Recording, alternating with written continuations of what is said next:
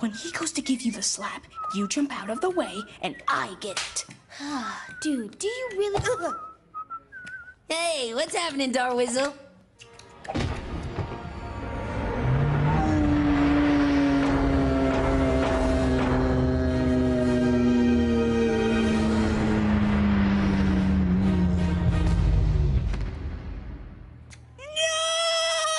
Now he'll never slap me on the. Oh wait, it still counts if he's unconscious, right? Yeah, it counts.